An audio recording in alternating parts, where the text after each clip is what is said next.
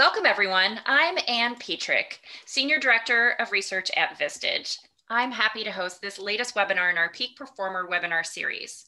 This series is designed to support your leadership climb by bringing the most trusted experts to the Vistage community, who provide exceptional insight and best practices to help you navigate new challenges and possibilities. Today's focus is on managing talent as we spring from the depths of the pandemic.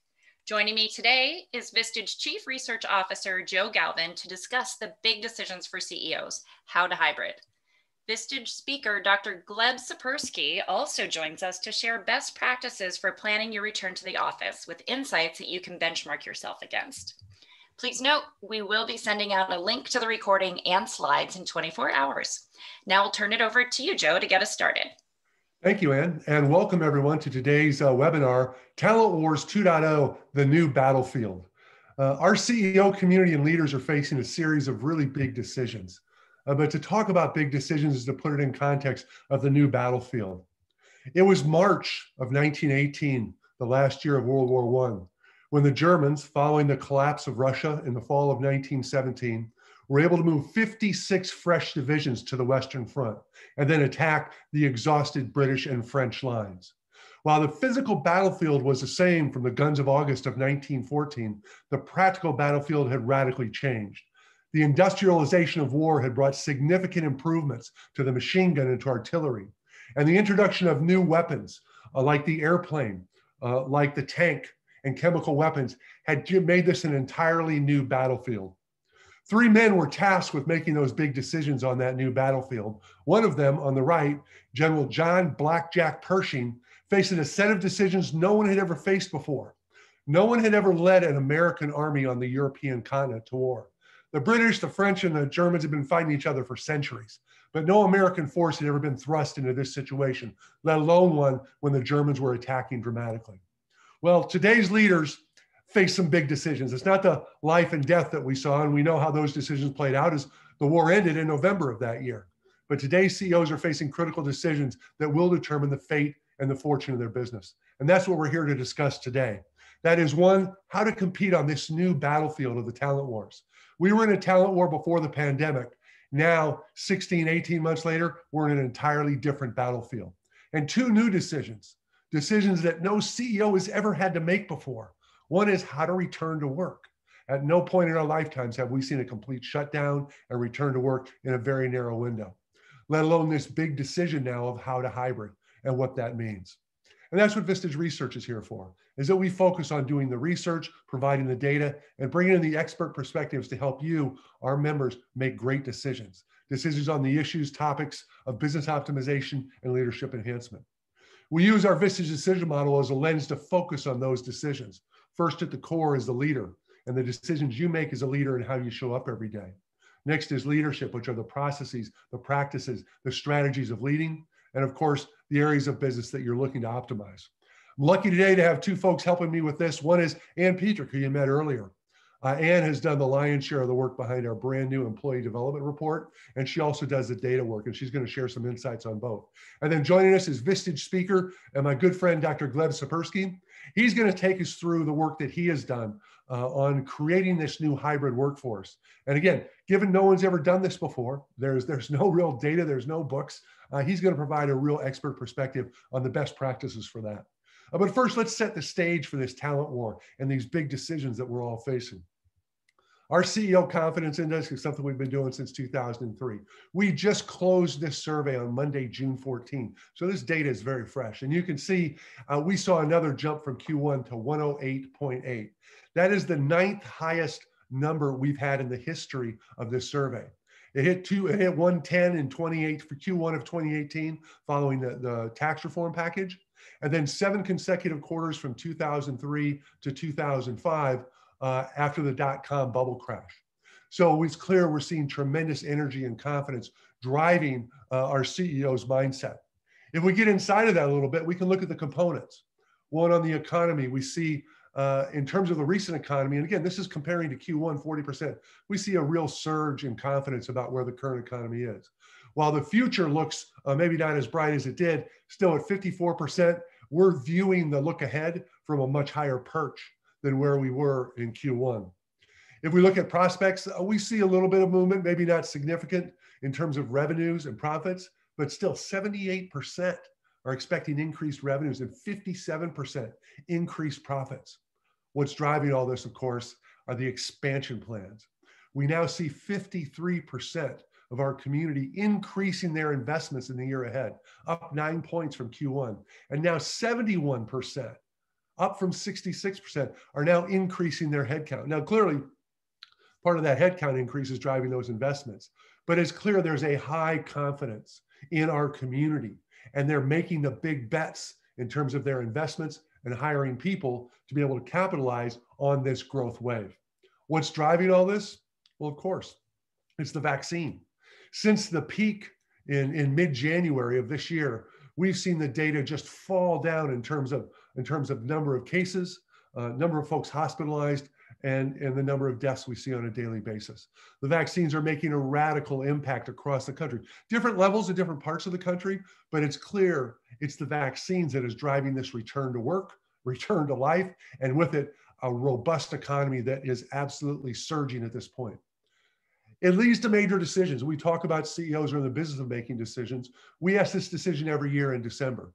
And I, and I put this out here because even before uh, we came into the surge, hiring, recruiting, and sourcing was a top decision our leaders were facing coming into 2021. And look just behind it, performance management. When we connect this to our categories of, of our uh, decision model, we can see that the talent was a top issue. I just point out right behind that, customers. You see product pricing, market development, sales, marketing. This is all part of reigniting the growth engine as we see our leaders gearing up to take advantage of this return to spend as consumers come back to the market and the pent up demand across the board is driving our economy to levels, uh, levels of growth that are quite frankly we haven't seen in our lifetime.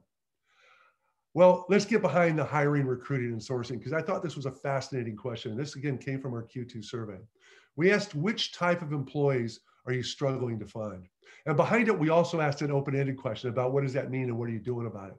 First, we see hourly frontline workers, and this is clearly an area, uh, again, in the manufacturing, in construction, in some of the services businesses, that we see a real competition here.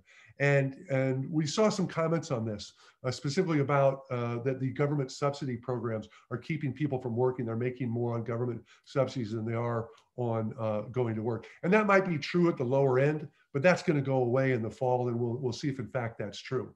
What's at, and other factors driving this, because that's not the only thing, is one, we've got 2 million women that are out of the workforce. Why? Because schools are closed. The childcare industry has collapsed. Uh, that too will play out, and we'll see some recovery there as it comes to the fall. We're seeing increased competition. Again, if you do a, a bell curve of humans, those higher quality hourly workers are able to compete for higher hourly wages. We see companies of all types raising that hourly rate from the, from the minimum to 14, 15, $20 an hour. Amazon alone hired 350,000 workers between July and October of last year. So competition is driving higher hourly rates that people are getting to. And we're also seeing a migration of workers, those high quality hourly workers, those that show up every day, work hard when they're there and can pass a drug test, they're able to enter programs and move up to the skilled workers level. Uh, there was a story in the New York Times about a, a gentleman who had been a nightclub bouncer and worked a 9 p.m. to 5 a.m. shift, uh, was had applied to IBM, didn't get called back, got a call back. IBM put him in a program, taught him how to be a computer maintenance technician. He's now a skilled worker and he sees a career going forward repairing and, and dealing with computers. So we see this migration of the higher quality hourly workers into the skilled workers. And let's admit, there's a huge shortage of skilled workers. We do not have enough welders. We do not have enough truck drivers. We do not have enough trained and skilled carpenters.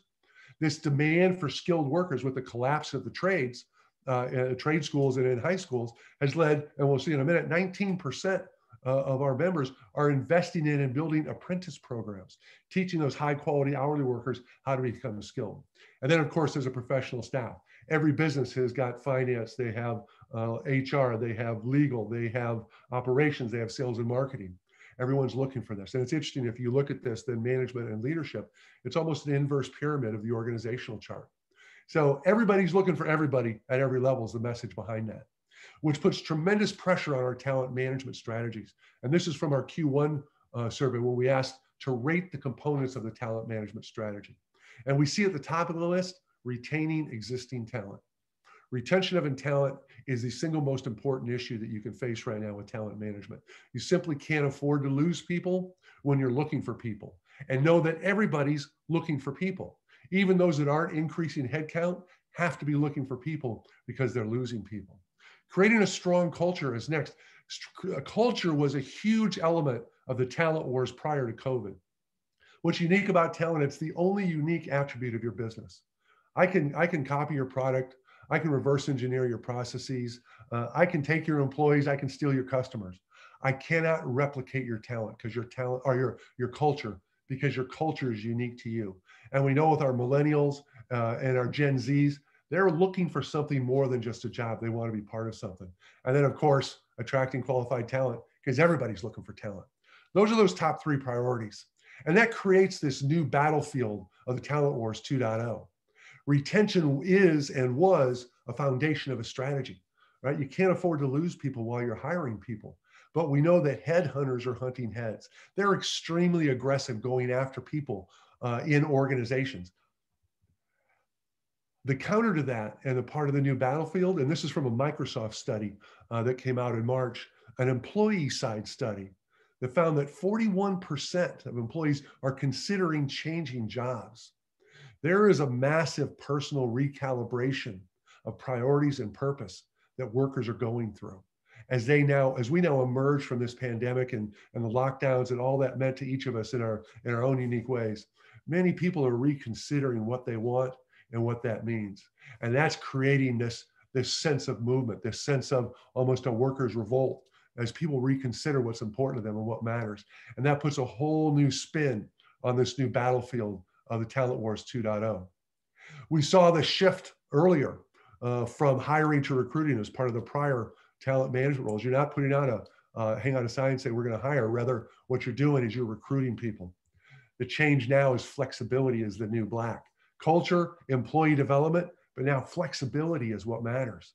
Uh, we said in, in April of last year when we put out a piece that said we saw 15 years of behavior change in 30 days. And we said that word, the genie was out of the bottle on the work from home phenomenon. And now we're seeing that come out as flexibility becomes a new element that we've never had to deal with in the talent wars battlefield. And we're also seeing that uh, people are recalibrating, recalculating how they recruit, virtual recruiting. Depending upon your workplace model, uh, are you looking for the best person in town or the best person and what that means?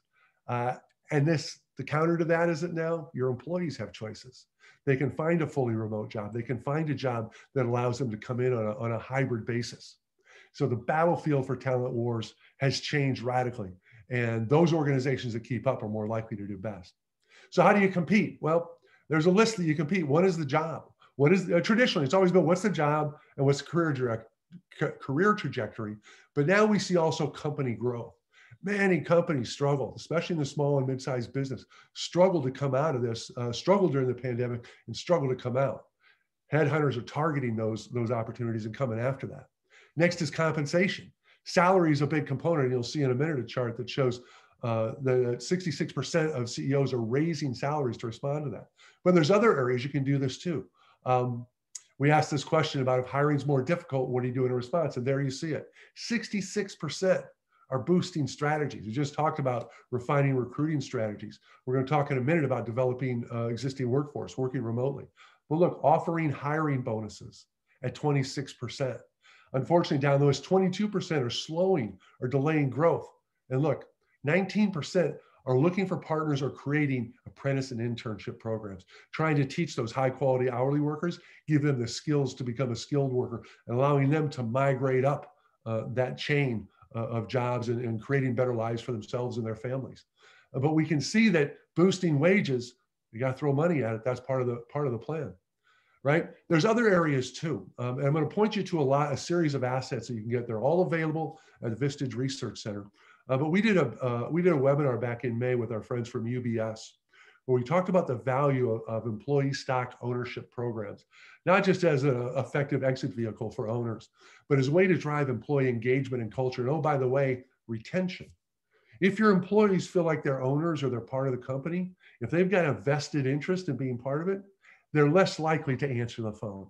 And let's face it, you win the retention battle before it is even fought. Before the employee picks up the phone to answer a call or picks up the phone to proactively dial, that's when you have to win. Because once they cross that threshold, they're vulnerable. We had another great webinar in June from our friends at Insperity, talking about performance incentives and going through uh, the various options that are available uh, that drive engagement and keep employees attached. And I invite you to download and look at and look at both of these sessions. Uh, next up is benefits, and benefits has always been an important aspect, something we competed on. Uh, you know, free lunch, wellness, having a health club, healthcare has become really important. I think we all appreciated that as we went through uh, the pandemic. But what's emerged as being critically important is employee development. Uh, employee development is a huge asset. And we see that those, uh, you know, I think of the old, uh, the old uh, timeless conversation of the CFO uh, who said to the CEO, "What if we train them and they leave?" And the CEO says, "What if we don't train them and they stay?" Employee development is critical, and this is where I'd like to bring in bring in Ann Petrick. Ann did the lion's share of the work uh, behind our most recent uh, research report on employee development as a competitive advantage for recruiting and training. So, Ann, uh, help us out here, would you please? Absolutely. So, Joe, just as you shared the fact, uh, the top decisions that our members were making in 2021, we also asked about top investments. And want you to think about the areas you're investing in. And what we found is that while technology continues to be a top investment, the, the second investment for 2021 was matched our top decision hiring, recruiting, and sourcing, investing in the talent. But you also see here employee development is number five, and that was even higher last year. So there's a lot of investment in employee development, some recognition that those programs are significant. And that was really the foundation of our latest report, uh, employee development, the CEO's competitive advantage really to dig into the different areas that you can impact in your business, starting with retention and the ability to drive that loyalty and protect revenue. Joe talked a little bit about the significance of retention and how maintaining that strong base of employees is so important. But we also found that there's a connection between revenue and retention we asked these questions looking back across the pandemic. We asked questions about retention rates and how they were moving, as well as revenue impact. And we found those CEOs that reported having increased retention rates were actually more likely to have stable or increasing revenues compared to those that had decreasing retention rates. So your ability to fulfill, to scale, to grow is based on retention. And this is proof of that as well. And the next layer of the report digs into acquisition and how you can gain a competitive advantage. Employees really want to see proof of the future. And you think about uh, how you can differentiate your company and what your candidates are looking for, outlining a clear development program, career pathing, how you are going to invest in them is a demonstration uh, of their how you're investing in their future. So that's another critical area to think about. And we see that in that competitive advantage, when we ask the question about hiring, Joe talked about boosting wages and hiring bonuses, and we're investing money in compensation, but also in developing the existing workforce. And this is something that's been rising to the top as a strategy to in, in challenges hiring. And part of that is uh, the competitive advantage, but some of that is improving productivity. So when you're trying to make do with what you have, if you're having challenges hiring, investing in the productivity and improving the performance of the people you have today is very significant, helps you improve that capacity and capability to be able to achieve and scale and grow in ways that you can without hiring or expanding the workforce. And we asked about the different components of employee development and find that a lot of the investments take place on the front end of the employee lifecycle. So general onboarding and jobs specific skills training, really getting new hires up to speed because we know that the, the, law, the cost of lost productivity is significant, especially when you're hiring or expanding. So a lot of the investment is taking place there. But I would say that one of the blind spots and one area to consider is really if you look later down the employee life cycle, the leadership development program and soft skills training, that's significant as well because we know that employees don't leave bad companies, they leave bad managers. So when you think about an investment in leadership development, and certainly everyone should have the opportunity um, to, with, to have their leadership skills developed. We talked about the expert perspective here from Jeremy Kubicek that's in our report. He shares that leadership is not just for managers, but everyone has the opportunity to demonstrate leadership in their roles and should have the opportunity to have those skills developed. But when you invest in developing the leadership skills of your managers, that's an investment of retention. Not only are you investing in those managers, the, the future of your organization, but you're investing in the employee experience as well. Everyone that reports to those managers has the opportunity to be the beneficiary of the leadership skills that they have developed. So next we'll talk, uh, turn it back to Joe so you can talk about culture. Thank you, Ann. Um, culture is and was a critical component uh, we talked about this before, but culture is what people want to be a part of. It's how you can truly differentiate and compete for talent based on what you are and what you're about. Um, culture, you need to think of it as your gravity. You know, you don't see gravity, but you feel it with every step you take. And the same is true for the culture of your organization. It has this magnetic capability to hold your good employees. It repels and rejects the bad, both in terms of, of people you're, you're considering to employ, maybe employees that change. But most importantly, it is a gravity that attracts people to your business and to your organization. We published our research report on creating a conscious culture in the fall of 2019. Our concept was you need to create the culture you want, because if you don't, you'll get the culture you deserve. Anytime you put a group of humans together, a culture will emerge naturally. As a leader, you have to create that culture that you want. We think a culture is a component of a variety of elements. It starts by being fused by the trust that people have based on consistent behaviors. Uh, it's defined by those elements, the values you, you embrace, the language that you use, the way you communicate, the behaviors you exhibit, and the rituals you observe. It's bound by the mission and vision of the business, but at the core, the power, it's powered by purpose. What is the purpose of your organization? Again, I invite you to download the report or, or listen to the webinar we did where we expand and grow in our concept of culture because it truly is a competitive differentiator and advantage. Uh, another interesting point, and this is this has emerged, is diversity. Uh, we asked this question in December of 2019, and then again in 2020, along with a series of other questions. But diversity and inclusion is a key part of our talent development strategies. And look, the agree, strongly agree grew by 13 points year over year, and the disagree, strongly disagree fell by 12 points. So clearly, as we go forward, not just into this year, but into the, the next decade and, and beyond, diversity and inclusion uh, is a key part of, uh, of your talent management strategy, but also it's, it's going to be a, a huge factor in, in who and how you're able to attract people. Which leads us to our last element and the brand new element, which is flexibility. Uh, and we think of flexibility is, is, is what do you offer in terms of flexibility? Is it office based, which is the traditional Monday, Friday, nine to five environment? Work from home, meaning you are physically capable of getting to the office on any given day, or fully remote. I happen to be a fully remote employee. I live in Connecticut, and the Vistage corporate offices are in San Diego. It's this flexibility that has become really important and has changed the dynamics and leads to this first big decision, which is returning to work. Every leader is facing this decision now of when and how to return to work. California and New York have just both both fully opened up. Some states have been open for a long time. Others will be following based upon their own individual data. But CEOs are going to invite, then request, and then require employees return to the workplace. Now, I think it was uh, the CEO of, of, Morgan Stanley in uh, New York City who said he fully expects every employee to be back in the New York office uh, after Labor Day. And he said, those that aren't, we'll have a separate conversation. Uh, he moved from the invite to require pretty quickly. What does that mean from a leadership standpoint?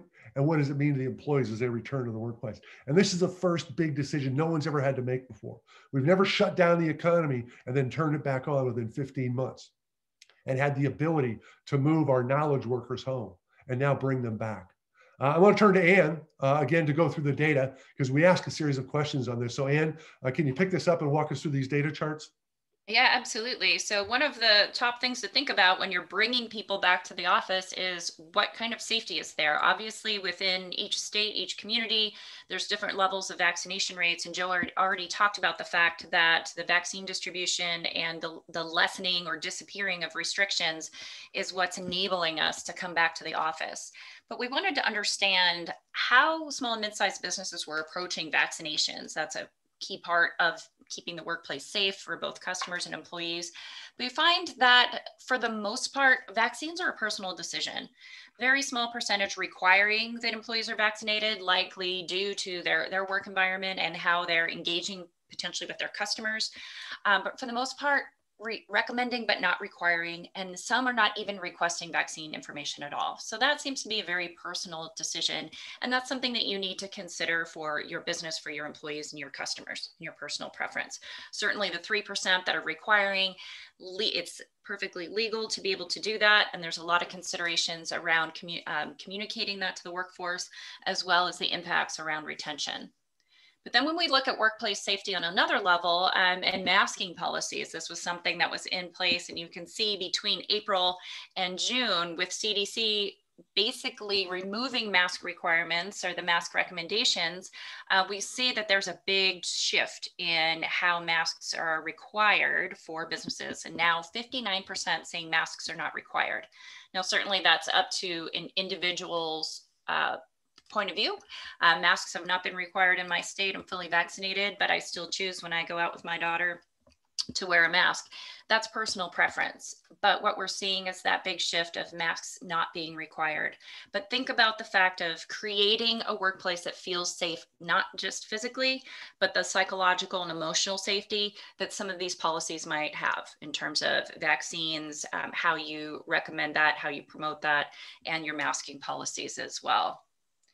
Now that's if you're returning to the workplace. And so we wanted to understand also the workforce model. Where are we going forward for the balance of 2020? 21 and then beyond. And we find that whatever you're doing through the balance of 2021 is going to be the permanent model.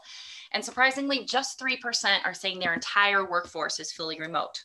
And as Joe said, likely this is uh, professional services, knowledge workers that have that ability and maybe already had that ability. 70% are some level of hybrid, and over a quarter, 27% fully on site. So we wanted to dig a little bit deeper into that hybrid mix. So that 70%, what did that actually look like? So of those who report a mix of that 70% of hybrid for 2021, actually six in 10 of their employees will be on site. So the hybrid mix isn't everybody works only certain times. It's 60% are fully on site, 14% fully remote, and uh, a lot of that, and then the 20, just a quarter is hybrid. So when we talk about how to hybrid, it's an interesting combination of fully on site, fully remote, and then managing the scheduling and creative time of those people who are both in the office and fully remote. Thanks, Anna. Really, you know, you look at manufacturing, you look at construction, you look at there are some jobs you have to be on site to do it. That's just a non-negotiable. Uh, but as you see this this evolution, the professional the the professional staff, the knowledge workers, uh, this hybrid decision and how to hybrid is really become the big decision. Uh, again, it's a decision no one's ever had to make before. Uh, we've never been in this position before. We started, we've been talking about this for a while, but it's really become critical to determining how to hybrid. And we're seeing as CEOs go through this process and make this decision, many of them are making it based on what they're comfortable with. I'm comfortable with uh, bringing everybody back because I like to see everybody in the office. But maybe employees don't think that way. Uh, there is this report from Microsoft that came out in late March. It was an employee side. Our data is all about what our CEO community says. But this is an employee side survey. It said 41% of employees are considering changing employers in the year ahead. This is part of this personal recalibration. 46 are likely to move because they can now work remotely. Uh, in Dr. Gleb's report, which I highly recommend, he summarizes five other employee side reports that all seem to suggest between 41 and 47% of employees are considering changing in the year ahead. And this is really important to understand because as CEOs make decisions without data, therefore relying more on their, their instincts, um, employees are going to make their own decision as well. Because uh, as we said, the big decision about returning to work uh, once you make that decision, we now go to something I call the, the 22 shuffle, which says that CEOs are going to make their decision on what their workplace model is going to be. And then employers are going to decide their workplace preference. And the shuffle will start. In this market, in this environment, this tug of war uh, between employees and employer, the employees have the power. Why? Because 71% of people are hiring, because they can find a workplace that's consistent with how they want to work and what will happen over the next 12 to 18 months. I don't know that 41 to 47% are going to change. Well, we won't know until the end what those numbers are. But clearly, employees are going to find a workplace consistent with how they want to work. And if you've had a long commute, if you've gotten comfortable uh, having dinner with the family, they're going to look for those options and they exist. And recruiters will prey on that. And that's why this is such a big decision. This is why it's so important to understand the dynamics of how to hybrid, right? You know, again, it's this this continuum of MF95. Now, that's not a new gang. Uh, that's Monday to Friday, nine to five, the traditional workplace that we left in March and April of last year to this hybrid environment where people can get to the office if they if they choose and the remote. We know there are some things that work better face to face, collaboration, innovation, problem solving, uh, team building, all the cultural events, right? And there's other tasks individually that uh, that work better. If you're just doing your job, you can you can do it. Uh, my daughter uh, joined a tech company in June of last year. Had never been to the office. Had only met her coworkers uh, in the little 16 by 9 boxes of Zoom. Well, yesterday she went in office for the first time, and she had to go to the receptionist and say, "Hi, where's my office? Where's my where's my floor?" Uh, and her comment to me last night was, you know, going to the office was great. I need to be connected to people, to meet these people in person who I'd seen and recognized from Zoom. But I'm not going to the office unless I have a purpose and I've got meetings with people. Otherwise, I can do my job remotely. And I think that's the continuum you're going to see. And that dynamic, what's interesting about this is that when we when everybody broke to work from home, we were grateful we could keep working. But now we have to separate where we work from when we work. And this concept of creating core hours when everyone can be together, uh, when you can reasonably expect, whether you're in the office or, or working from home, uh, that people will respond at a reasonable time and you can reasonably assume to, to, to schedule meetings. So we kind of just jumped into it, but understanding the difference between where you work and when you work, those are separate questions we need to answer, and they're part of this big decision. Next is the realization that culture is both a victim and a beneficiary of this. Uh, maintaining a culture is hard. It's hard in the traditional environment. It's even harder in a remote environment. Why? Because we, we discussed this. Culture is your gravity. And, and even though the moon uh, is a remote to Earth, uh, it is still connected to us because of gravity. And as I said, culture is the only unique attribute of your business. We'll have to learn and develop and build totally new skills about how to use our culture for those remote and those hybrid workers to ensure they feel that emotional connection to the business and the people that they work with. And then, of course, um, work from home is about performance management. You know, we hear the comment and some of the comments, I don't trust people to work from home. Well, if you don't trust them to work from home, do you trust them to work in the office? You know, physical attendance is not productive work necessarily. It is an, an industrial age boomer mentality that says, I must see people in the office. Uh, you must check in at nine and check out at five. Uh, and that's what bosses want. Uh, a lot of bosses are very comfortable with that environment because they can walk around and, and see people and pat them on the head, where employees feel differently about this. We mentioned earlier the 15 years of behavior change in just 30 days.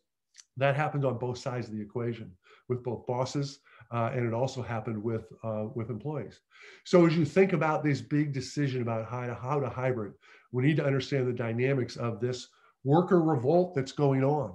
The, the 41 to 47 percent who are considering changing jobs based upon what that new workplace model would be. You know, if you go back to the Industrial Revolution, workers could, would and did collectively strike for better workplace conditions, safety, pay, breaks, hours. Well, today's workers um, you know, they may not have a vote collectively, but they do have the ability to vote individually. And that's why this concept of the 22 shuffle will come into play. As you make decisions about how you're going to hybrid uh, and what that workplace model is going to be and what that level of flexibility is going to be, once that's laid down, then your workforce will determine how they want to do this. I've heard, I've heard stories, especially in the financial industry, of, of 15, 10, 15, 20 year folks who've been who've been on that horse and, and it's been they've been riding hard and, and now they're making a decision do i want to get back on that horse? And we're seeing people transition. Again i believe there is a, a personal recalibration of priorities and purpose that every worker and every leader is going through based upon this incredibly unique and hopefully once in a lifetime experience of the last 15 months. And that's going to dramatically change the workplace going forward we've said many times there is no going back You're not going to repair what you had because that's going to build, fix it for a prior state. We are in a completely new reality. And that new reality is driven by all that we've experienced, both personally and professionally, over the course of this pandemic. And a big part of that is this hybrid work environment, the work from home uh, experience that everyone's had, and many are unwilling to give up. So, as I said, while employees don't necessarily have a vote, they do have a voice. And they will express their voice if you ask them. Uh, and they will vote individually based on whether they choose to say, or as I said, they'll cross that threshold and either answer the phone or pick up the phone and go find a job that is more consistent with their priorities and their purpose. So we asked this question. I do this as a, as a prelude to bring Dr. Gleb into the discussion. We asked the, we ask our CEOs, are you are you planning to ask your people uh, about what their preferences are? And we found that 44% were, another 13% are planning to, but 39% are saying no, I'm not going to ask. Um, and I think that's interesting to understand because um, in this economic wave that we're all riding, and we just saw that you know we're going to see GDP over six percent for this year. The bigger the wave, the stronger the undertow. And the undertow for this wave is this question right here: is how to hybrid, what that workplace model is going to be, and how your employees are going to react to the decision that you made. And that's why I now like to introduce my friend Dr. Gleb Tsipursky. Uh, Gleb is CEO of Disaster Avoidance Experts. I've referenced his white paper a couple times. Uh, he will give you and, and he'll give you directions and share with you how to find it. I highly recommend it. Uh, but Gleb, thank you for, for being a Vistage speaker and thank you for sharing your expertise with us now. So please, Gleb, go ahead. Thank you very much for that kind introduction, Joe. Really appreciate it. So let's talk about how to hybrid. That's what the goal is. How do you do hybrid? And Joe mentioned some surveys, and since I wrote that white paper, a couple more surveys came out. So there are eight major independent surveys from venues like Microsoft, Slack, Harvard Business School, uh, SHRM, the Society for Human Resource Management, which show that 75 to 85% of workers want substantial remote work. They want either a combination of hybrid or fully remote work. Of those, of all workers, 25 to 40% want full-time remote work. By the way, this is only people who can work remotely, of course. We're talking about that 53, 54% of the American workforce who can work remotely. We're not talking about the people in manufacturing and construction who can't. This is about who can work remotely. 75 to 85% want hybrid or fully remote work. 25 to 40 want fully remote work. And 40 to 55% would leave their job if forced to come in full time that is a problem and that is a serious issue for leaders who want to make them full come in full time and they're ready to give up substantial benefits an average of 8% of their salary for substantial remote work. So that will be an advantage for the so many of you 71% who are recruiting folks. You can recruit them at lower pay if you give them substantial remote work maybe even full-time remote work or a substantial amount of hybrid. So you have to think about that idea that people are our greatest resource.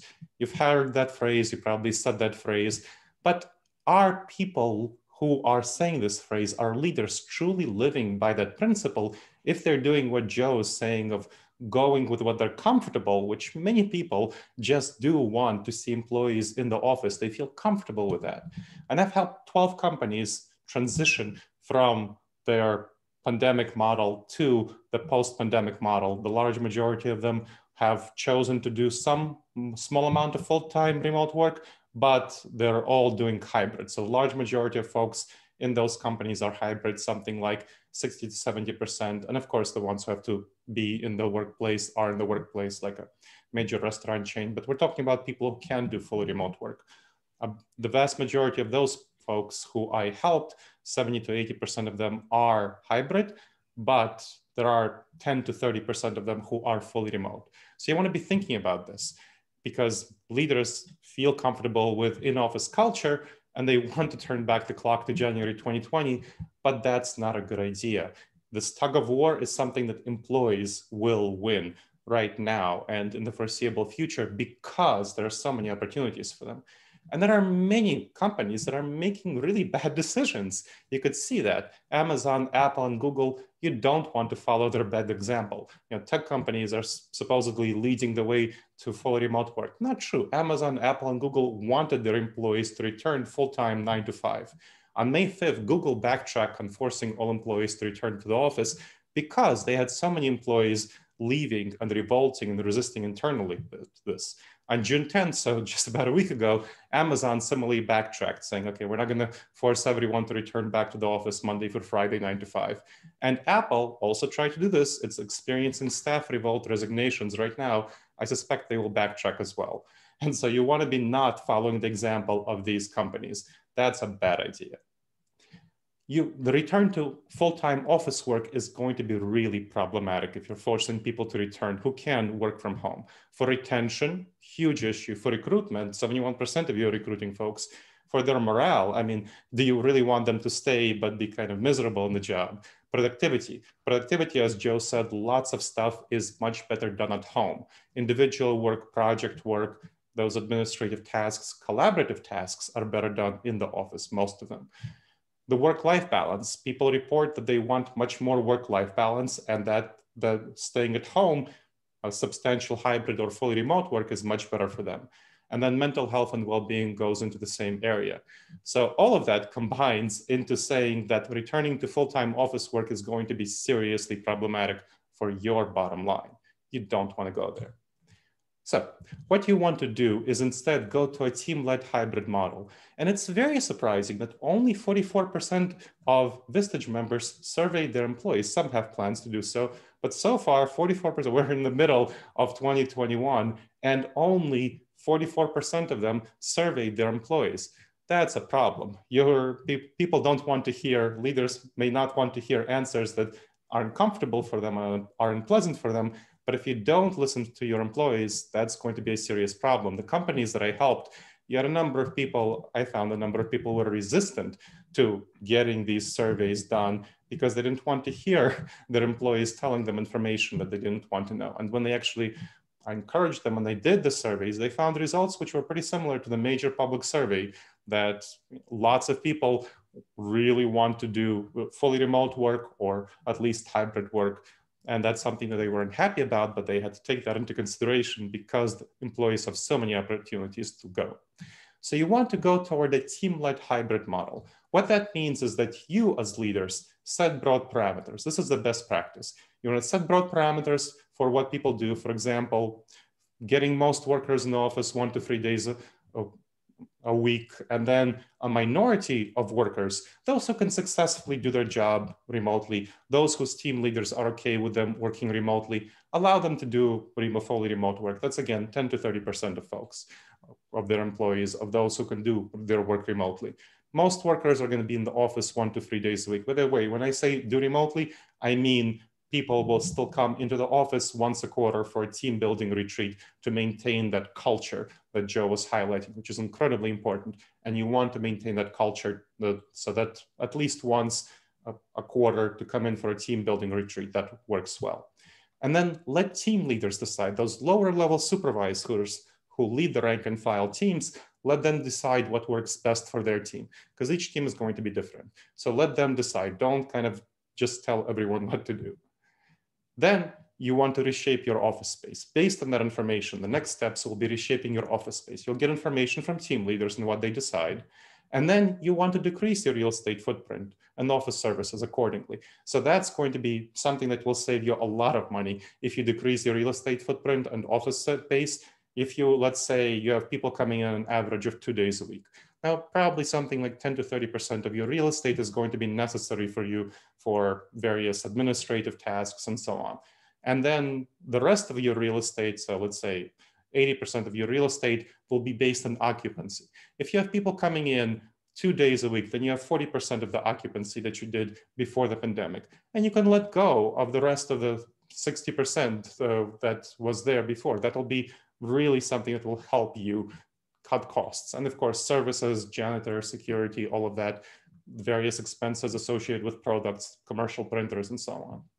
You want to change your office space to be mostly collaborative. This is really important.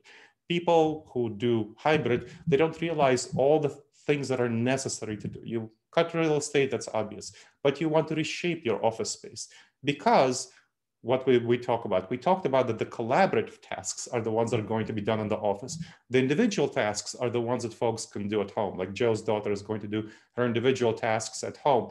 Your employees are going to do their individual project tasks, administrative tasks at home. That's their most productive environment. When you look at the research on productivity, the most productive environment for those sorts of tasks is overwhelmingly at home. In the office, collaborative tasks, brainstorming, team building, all of those sorts of things, mentoring, of course, that's better done in the office. So you want to reshape your office space to be mostly collaborative. That means doing things like hot desking, floating desks, maybe assigning a couple of desks to each team, and having something like, and that should be one third of your real estate and something something like two thirds of your real estate collaborative so collaborative desks and so on off video conference rooms lounges, and so on. Then you want to revise your performance evaluation. You want to change it, and Joe mentioned this a little bit. You want to change it from time spent working in person to employee productivity. So that's what you want to be focusing on employee productivity, tasks accomplished, deliverables delivered. That's what you want to be focusing on, both individual tasks and collaborative ones. And you want to go from annual performance evaluations to weekly report evaluations and check-in meetings. That's what will be necessary for effective task evaluations because you'll be evaluating them on everyday activities that they're performing. That needs to be a weekly process where they're sending in a little report on what they did. You are, or their team leader is evaluating them every week and having a meeting every week on doing what's right. So you want to change your performance evaluation to do hybrid effectively. Then you want to adapt your culture. Joe talked about the culture, and this is something that you really need to shift and adapt for that hybrid environment. Digital co-working when you're not in the office. That means having at least an hour each day when people call in, the whole team co-works together with your microphones off, video on or off and your speakers on. And so you can chat, chat at the beginning about what you plan to work on. And then during the working, if you have questions, if employees have questions, they can ask each other. And that's going to be very helpful. That's been shown to be very helpful for employees. Virtual mentor, you want to assign your employees a virtual mentor from outside their team that one of the problems with hybrid is that they don't get to know other people in the company. They don't get as much mentorship. So you want to get other people from the company who aren't in their team to be a virtual mentor for them. You want to also address diversity inclusion concerns. There are lots of issues with diversity inclusion that you want to make sure are addressed, which includes digital discrimination, which has been an issue throughout the pandemic, and interruptions in privilege, where especially those who are have minority status, women and so on, are more typically interrupted in meetings, virtual meetings. So you want to make sure to address that. Then you want to provide training, upskill your employees. That is very important. We talked about leadership development and other sorts of development, professional development that's specific to the hybrid workplace. So for effective hybrid work, you need to teach people what they need to do at home and in the office, what to do at home, those individual tasks, project tasks, what to focus on in the office, those collaborative tasks because they haven't done hybrid before. They don't know how to do it.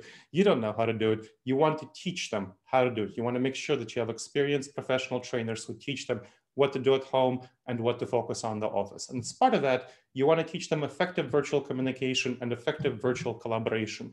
That's going to be especially important when some people are having a video conference. Some people are hybrid, some people are coming in from home, some people are in the office. Those things are difficult to do. You need to teach them how to do this effectively. So those are the best practices that I want to share with you. And then you can get some free additional resources that Joe mentioned from me, the white paper on returning to the office, benchmarking to best practices, then a best a free copy of my best-selling book, Never Go With Your Gut, How Pioneering Leaders Make the Best Decisions and Avoid Business Disasters. And then a free coaching session on making hybrid work for you as a leader.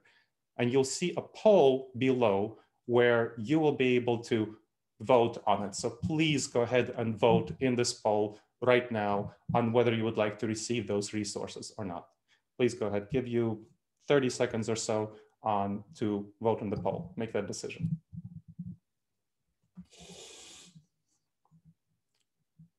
See that about two thirds of you voted.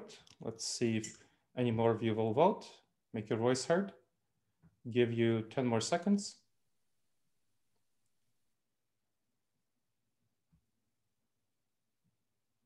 Three, two, one. Okay, closing out the poll. Thank you all.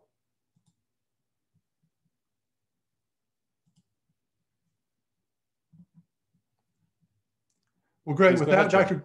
Yeah, with that, Dr. Gleb, I'm gonna I'm gonna bring it back um, and summarize where we uh, what we wanted to talk about today, which is these big decisions. And I'd like to thank Dr. Gleb. I mean, your content is great. Again, I encourage people to download that report. Uh, also, let you know uh, that as you know that this the, this deck and this presentation will be available as well as a recorded version of this webinar.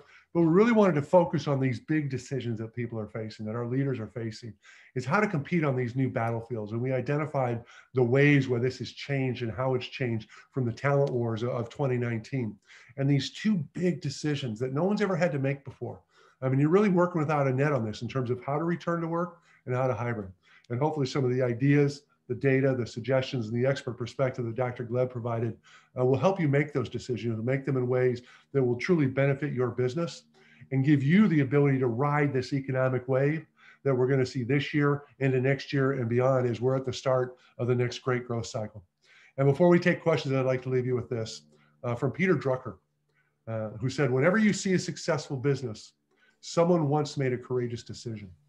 And I would suggest that each of you are facing a series of courageous decisions, and they're facing you right here, right now. And you'll know right away uh, what the right answer is. And I can tell you this that I don't know what the right answer is, but I do know that every wrong answer will be punished. And we're here to help you with that uh, through our research, through our data, and the expert perspectives that we have. So, again, I'd like to thank you for your time and attention. I'd like to thank Dr. Gleb uh, for being with us today. Uh, and Ann, I'm going to turn it back to you to process any questions uh, that we might have had. Yeah, absolutely. Thank you, Joe. So, um, just going back to some of the things that we already talked about, and one of the early charts you shared, Joe, is the, the idea about the job and company growth as a key area that candidates are actually looking at. So, as a small business, how might someone address a question they might get from prospects that they're worried about joining you since you are a small company? So even though the, some of our um, small mid-sized businesses might have been around for 20 years, they might still get that question from millennials. So I want to talk I about think, how can small businesses uh, overcome that challenge? I think it really is incumbent on, on the CEO and those people recruiting to be able to have a story of how the company was functioning leading into the pandemic, what you did, uh, both in terms of for your customers and for your employees, uh, and how that resulted in your business's health going forward. Uh, we tracked the data all throughout the, the pandemic and saw a steady progression of people moving from uh, revenues down to revenues up. And, and some folks are still hurting. Uh, but clearly, employees, prospective employees, want to be part of a healthy, growing company. And uh, CEOs and hiring managers need to create a winning story that tells that. Because if you don't have that story to tell, it's not an attractive situation, especially when uh, prospective employees have so many options to choose from. Exactly. And I think that sometimes small businesses might have some of that flexibility that uh, candidates are actually looking at. So that could be definitely part of the story. Uh, another area for competition we talked about is benefits. We talked about compensation, but as an executive search consultant, um, prior to the pandemic, PTO was a big deal, personal time off and unlimited PTO or offering a lot. Do you think, um, Dr. Gleb, that the hybrid work schedule, like being able to be more flexible, will indirectly address that ask for more PTO? There's no question that it will. So when we're looking at the hybrid schedule, flexibility, and the questions are about employee benefits, I mentioned those eight surveys one of the fundamental questions on several of those surveys was about employee perceptions of benefits. The biggest benefit was healthcare, but unlike previous surveys, and that's similar to previous surveys, unlike previous surveys, the second biggest benefit was flexibility, not PTO, nothing like that, but flexibility, meaning ability to work remotely, meaning ability to have hybrid. So people wanted that flexibility. And that I think is the underpinning of PTO. And here, the new flexibility, flexibility is the new black, as Joe said. And flexibility right now will be that ability to work hybrid slash remote. So if you want, whether you're a small business or medium-sized business, if you want to compete with the big boys like Amazon, Google, and Apple, which are not being very flexible, you want to make sure that you are offering your employees flexibility and that you're using best practices on how they can work most effectively in a hybrid schedule. That will definitely be attractive for them. Yeah, and I think you'll see that shift as well in this in this environment that Dr. Gleb res- responds to. The notion of PTO is the notion of I'm not in the office. It's the binary on off. And the hybrid model where things tend to blur a little bit. Uh, I would take PTO when I'm going with my family for a week to the beach because you are going to be checked out. But on a day-to-day basis, the ability to move in and move out and and, and be flexible and nimble with that, I think that's going to see that notion of, of the on-off binary nature of PTO uh, cease to be as critical as it was when, well, you're not in the office, therefore you must be off. Versus, you know what, I'm not around this afternoon because, because, because, but I'll be back online this evening. Uh, and I think that's part of what, what Dr. Gleb, you had said when you talk about performance, uh, is that measure me on performance, not on attendance. You're absolutely right, Joe. And this will be the key thing. I mean, does it really matter how much time someone takes off in PTO if they're still delivering everything that they need to be delivering? That is you what you really want to be focusing on their deliverables, what they're accomplishing. That is the you know, underlying basis. And I can guarantee to you, many, many employees will be very much attracted to a performance based evaluation that's informed by deliverables, by their accomplishments, not their time spent working. Yeah, I'd love to get your opinion on this. This I saw this this week that said the optimal workday is five hours. Now we're caught up in the industrial age boomer mentality of you check in at nine and you check out at five and attendance matters. But this study looked at productivity and performance and the optimal workday is about five hours. What are, what are your thoughts on that? I think it's definitely the case that the optimal workday, when you're actually looking at how people spend their time, the amount of time working, five hours is great. If you are, you know, for the Monday to Friday schedule, when somebody's coming in nine to five, how long do you think they're actually working? As opposed to you know go taking a break or you know checking their smartphone or whatever they're doing. They're if you if they're working five hours you're lucky. Let's be honest about that. If they're working productively creatively five hours. So if people are given the flexibility to choose how to work those five hours when to work those five hours they can fit that around their schedules and most importantly, they can fit it to their energy levels, which different people have different energy levels that fluctuate throughout the day rather than that Monday for Friday, nine to five schedule. And if you measure them on accomplishments, it really doesn't matter how much time they work as long as they are there for the collaborative tasks, of course. We talked about that and that kind of the collaborative digital co-working. If you measure them on deliverables, if you mention them on their accomplishments, that's what matters. That's what you should care about. So you make sure that you measure them on their accomplishments and their deliverables and let them decide what they do, how they do their individual tasks. Not talking about their collaborative tasks, but how they do their individual tasks. Yeah, I, I think that's going to be a hard concept for some of our old school uh, leaders uh, who come from that environment and background, but it's the concept of, you know, uh, pay me for what I do, not how long it takes me or when I choose to do it. Yeah, well, our new environment, the future is increasingly disrupted. The old model, the industrial age model, is not the model of the future. And I think Vistage members are Vistage members because they know that their previous intuitions and expectations are not necessarily a good fit for the future. And they want to be informed, they want to evolve, they want to succeed. And that's why they're here. We've described it as a new reality, meaning it's not a new normal or the next normal because there'll be nothing normal about it. Uh, this behavior change, this, you know, you think about disruptions, the industrial age took 70 years, uh, technology 40, but really the internet about 15 years of change. We saw this accelerated disruption in 15 months. Yeah. And now we come out of it and we're in this, this new reality. Uh, where so many things are different and so many things are, are changing. And those of us that are able to adapt, we know that Darwin taught us it's not the strong that survive, it's those that are most able to adapt that will survive. And I think those that can adapt to this are the ones that will thrive. And as I said before, uh, every bad decision is going to get punished, and it's going to get punished with turnover and retention issues. As Amazon, Apple, and Google have seen. yeah. yeah. Absolutely. Well, thank you so much for sharing your insights, Dr. Gleb and Joe.